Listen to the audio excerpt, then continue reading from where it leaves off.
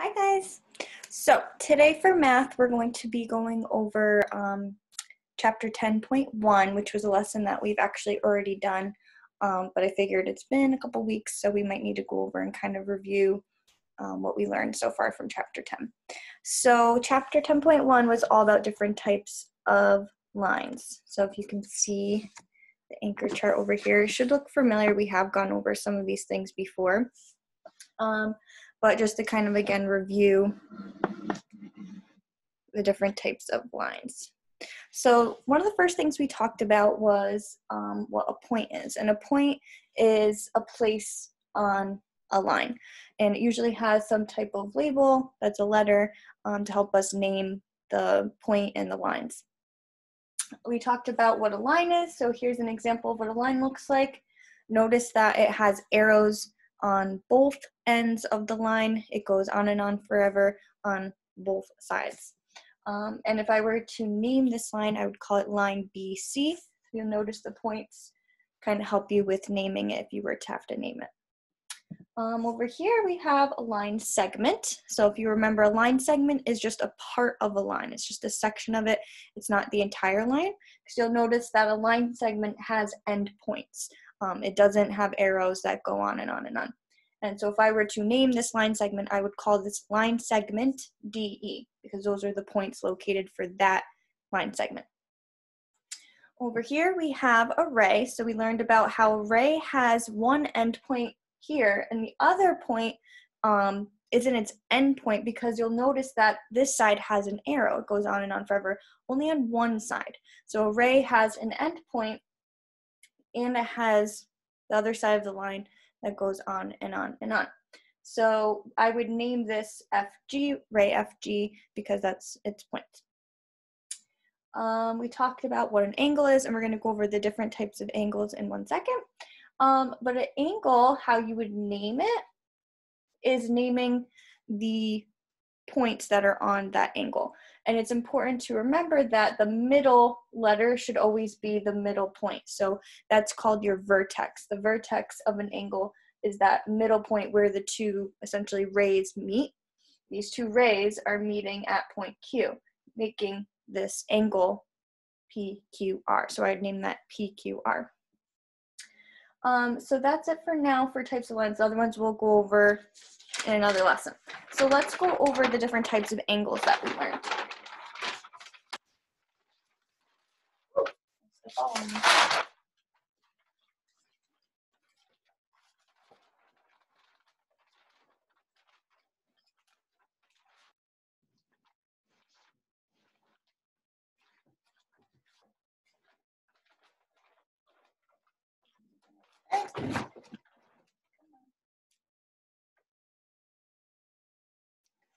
think it's gonna stay. All right, so the different types of angles we learned about. Make sure you can see that. Okay.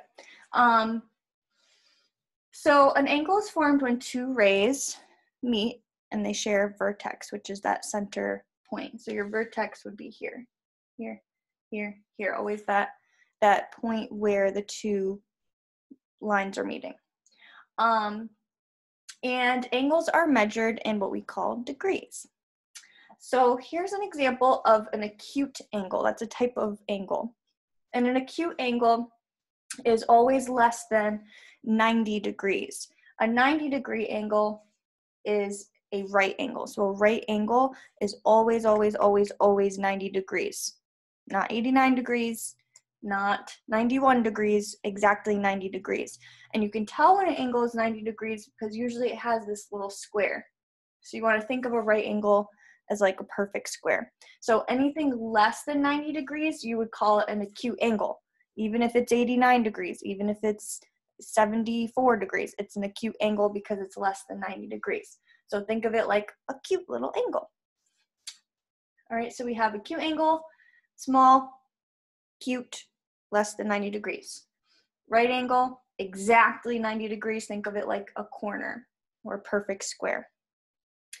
An obtuse angle is an angle between 91 degrees and 179 degrees. So that means it's bigger than a 90 degree angle, a right angle, but it's less than a straight line, a straight angle.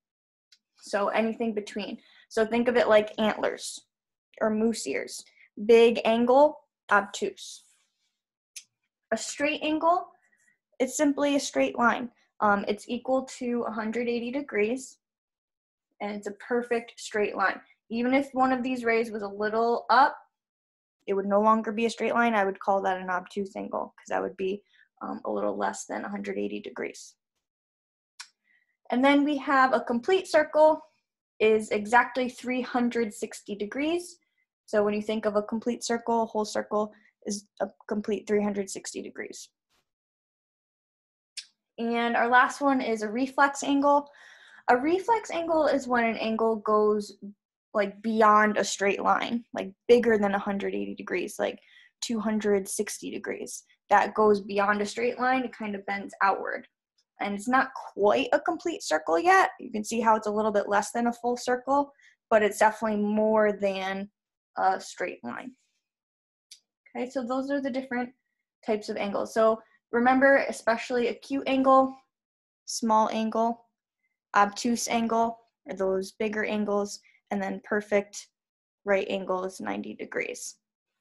Um, so from here, now that we've reviewed the different types of angles, we reviewed the different types of lines, your assignment today is going to be to do the exit slip that is posted on Google Classroom. It's um, attached to this lesson, this form um, is, I think it's a form. Um, and it's, I don't think it's very long. It's a few, maybe like 10, 13 questions, something like that. Um, and it's all relating to just this lesson. After you finish that, you can submit it because I will be grading those. And then you're going to go on to Think Central, which I provided the instructions on how to log into Think Central, how to get there, how to log in. Um, and I did assign you the, it's called the homework on 10.1 for Think Central. It's not actually homework, but um, it is, that's like where you can actually go in and, and put in your work. Um, so we assigned that part of Think Central. Um, I think that's only maybe like 10 questions. And then that's it for like mandatory work. But if you still wanted to continue practicing what we learned today, um, then you have the option to go on the other links I attached to this assignment is Freckle. I did assign um, just the the lines and angles and same thing with math games. That's a new website I'm going to start using, um, assigning math games relating to that day's lesson. So the game that you would play is only relating to lines and angles. Um, I also, I think, connected Khan Academy. Um, and I think that's it. So optional work would be like Freckle, Khan Academy, math games. Um, but mandatory work, definitely do the exit slip um, and definitely go on Think Central and do all those questions. All right, so I think that's it for today's math lesson. Um, and the next time we'll be going over different shapes. We'll be doing some triangles. All right, so look for that um, lesson on Wednesday. All right, see you guys later.